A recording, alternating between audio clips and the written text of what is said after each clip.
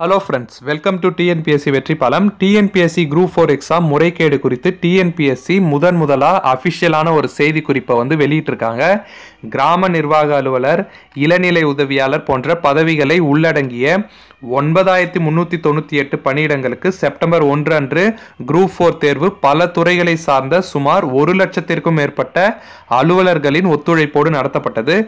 பதினாறு லட்சத்திற்கும் மேற்பட்ட விண்ணப்பதாரர்களுக்கு நடைபெற்ற இதனுடைய தேர்வு முடிவுகள் நவம்பர் பனிரெண்டு அன்று வெளியிடப்பட்டு இருபத்தி நாலாயிரத்தி இருநூற்றி அறுபது நபர்களுக்கு சான்றிதழ் சரிபார்ப்பு தற்பொழுது நடைபெற்று வருதா வந்து சொல்கிறாங்க அதாவது சர்டிஃபிகேட்ஸ் அப்லோட் பண்ணுறது ஏற்கனவே முடிஞ்சிடுச்சு. இப்போ இப்போ அதனுடைய சரிபார்ப்பு வந்து நடைபெற்று வருவதா டிஎன்பிஎஸ்சி வந்து சொல்லியிருக்காங்க.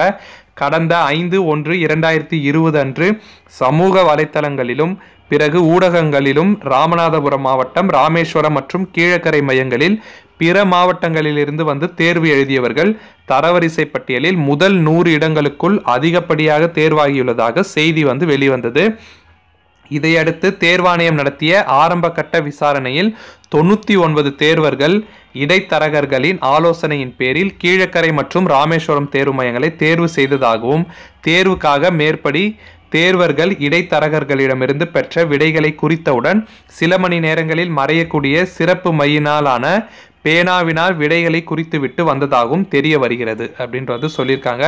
மேலும் சந்தேகத்திற்குரிய இடைத்தரகர்கள் தேர்வு பணியில் ஈடுபட்டிருந்த நபர்களின் துணையுடன் ஐம்பத்தி ரெண்டு தேர்வர்களின் விடைத்தாள்களில் திருத்தம் செய்து மாற்று விடைகளை குறித்து அதே விடைத்தாள் கட்டுகளில் சேர்த்து வைத்துள்ளதும் தெரிய வந்துள்ளது.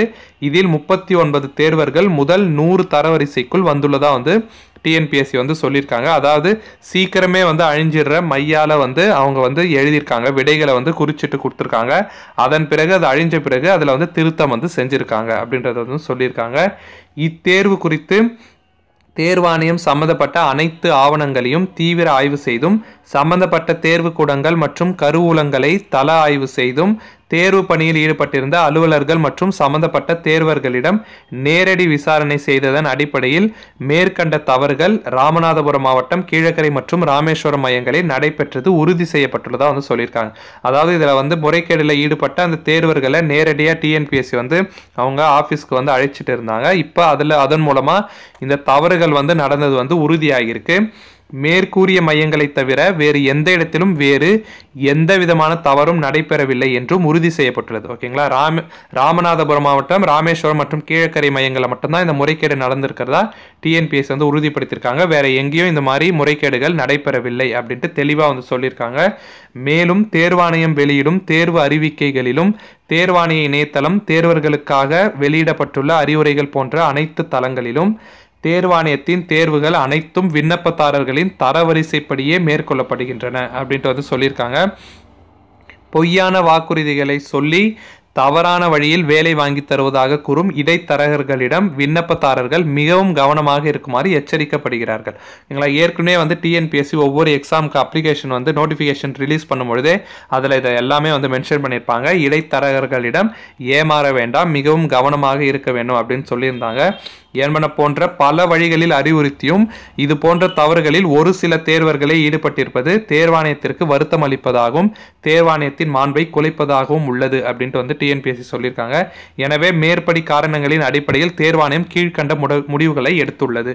அதாவது என்னென்ன முடிவு வந்து எடுத்திருக்கோம் அப்படின்றத தெளிவாக வந்து டிஎன்பிஎஸ்சி மென்ஷன் பண்ணியிருக்காங்க. சம்பந்தப்பட்ட தொண்ணூற்றி ஒன்பது தேர்வர்களை தகுதி நீக்கம் செய்து வாழ்நாள் முழுவதும் தேர்வு எழுத தடை விதிக்கப்பட்டுள்ளது. ஏன்னா இது ஒரு மிகப்பெரிய ஒரு முறைகேடில் ஈடுபட்டாங்க அப்படின்றனால வாழ்நாள் முழுவதும் இந்த தொண்ணூற்றி ஒன்பது தேர்வர்களுக்கும் தேர்வு எழுதுவதிலிருந்து தடை விதிக்கப்படுது. அதே போல தரவரிசை பட்டியலில் வந்துள்ள முப்பத்தி ஒன்பது தேர்வர்களுக்கு பதில் தகுதியான வேறு முப்பத்தி ஒன்பது த நபர்களை தேர்வு செய்து சான்றிதழ் சரிபார்ப்புக்கு அனுமதிக்கப்பட்டுள்ளது அப்படின்னு சொல்லியிருக்காங்க. சம்பந்தப்பட்ட தொண்ணூற்றி ஒன்பது தேர்வர்கள் மற்றும் இடைத்தரகர்களாக செயல்பட்ட சந்தேகத்திற்குரிய நபர்கள் மீது குற்றவியல் நடவடிக்கை மேற்கொள்ள முதல் தகவல் அறிக்கை பதியப்பட்டது ஓகேங்களா எஃப்ஐஆர் வந்து ஃபைல் பண்ணப்பட்டிருக்குன்னு சொல்லியிருக்காங்க. சான்றிதழ் சரிபார்த்தல் அடிப்படையில் தகுதியான தேர்வர்களுக்கு உடனடியாக கலந்தாய்வு நடத்தப்படும் ஓகேங்களா இதுதான் ரொம்ப முக்கியமான ஒரு விஷயம். சர்டிஃபிகேட் வெரிஃபிகேஷன் முடிஞ்ச பிறகு உடனடியாக வந்து கலந்தாய்வு நடத்தப்படும் அப்படின்ட்டு டிஎன்பிஎஸ்சி சொல்லியிருக்காங்க. இனி வரும் காலங்களில் எந்த விதமான தவறுகளும் நிகழாவண்ணம் தேர்வு நடைபெறும் முறையில் தகுந்த சீர்திருத்தங்கள் விரைந்து மேற்கொள்ளப்பட்டு வருவதா வந்து டிஎன்பிஎஸ்சின்னு சொல்லியிருக்காங்க.